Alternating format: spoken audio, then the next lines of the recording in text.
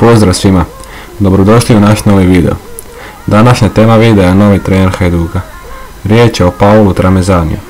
Tramezan je danas službeno predstavljen na poljudu. Novi trener Bijelih na početku pres konferencije prvo se zahvalio predsjedniku i sportskom direktoru na povjerenju. Bivši trener Bijelih, Boro Primorac, vratio se na mjesto voditelja akademije. Paolo Tramezani, rođen je 1970. godine. U karijeri je bio u mnogim poznatim klubovima, kao na primjer Inter Milanu i Tottenhamu. Karijeru je završio 2008. godine, nakon čega se bacio u trenerske vode.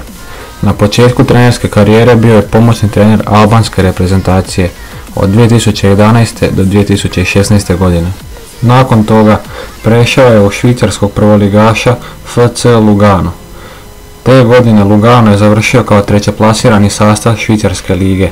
U lipnju 2017. godine potpisao je dvogodišnji ugovor sa FC Sionom. Nakon samo tri mjeseca dao je ostavku.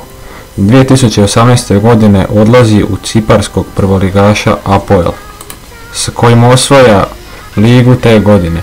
2020. godine vraća se u FC Sion, iste godine odlazi Siona, nakon čega dolazi u Hajduk. Zanimljivo je to da niti u jednom klubu nije bio više od 10 mjeseci.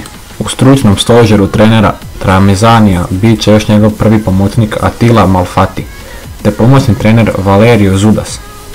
A ostatak stručnog stožera popunit će dva kondicijska trenera, koja su već sudjelovala u radu prve momčadi, Toni Modrić i Šime Veršić.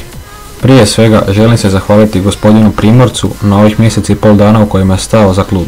Hvala mu na svemu što je napravio. Dao je svoj veliki obol. Sve je radio bez da se jednom požalio na nešto. Iako mi je odmah rekao da je njegovo prirodno mjesto akademija i da se želi tamo vratiti. Mislim da smo sada dovođenjem Paula Tramezanija kompletirali stručni dio kluba, kazao je predsjednik uprave, prepustivši zatim riječ sportskom direktoru Nikoličiusu. Cilj nam je bio što prije pronaći trenera. U užem izboru imali smo desetak imena, a nakon što smo uzeli u obzir sve parametre donijeli smo odluku da je Paolo Tramezani najbolji izbor za nas. Karizmatičan je i energičan trener. Trebao nam je netko poput njega tko može podići ekipu.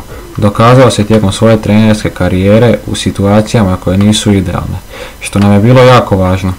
Sigurni smo da ćemo uz njegovo vodstvo postići naše ciljeve, zaključio je sportski direktor Mindaugas Nikoličius. To je bilo to za ovaj video, nadam se da se svidio, ako je ostavite like.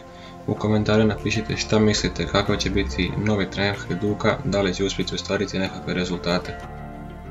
Samo najaviti podcaste, znači u narednih mjesec dana možete očekivati nekakvih 2 do 3 podcasta, trenutno smo u pregovoru sa par igrača, tako da subscribe se i čekajte podcast.